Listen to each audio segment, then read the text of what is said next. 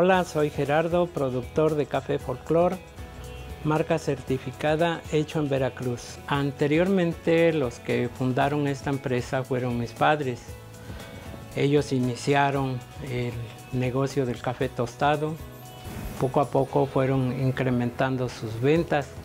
Yo me incorporé como a los 15 años, aprender a, a tostar café, aprender a moler, a todo su proceso.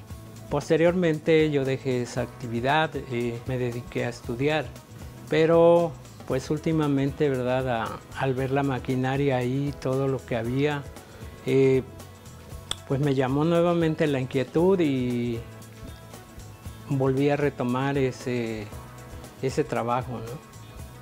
Actualmente me estoy dedicando a la venta de café tostado y molido, eh, café puro, café caramelizado con azúcar en presentaciones de kilo, medio kilo, un cuarto y bolsa de 20 gramos de café caramelizado con azúcar.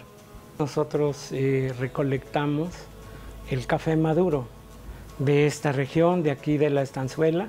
Vamos recolectando y le hacemos el, el proceso, ¿no? Hasta llegar a su producto final que es el empacado, envasado.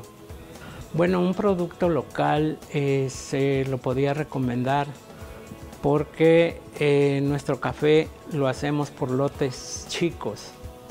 Entonces al tener eh, lotes chicos se le da mayor atención y mayor cuidado al proceso del café con esta certificación pues se identifica más eh, nuestro café hecho en Veracruz, ¿no?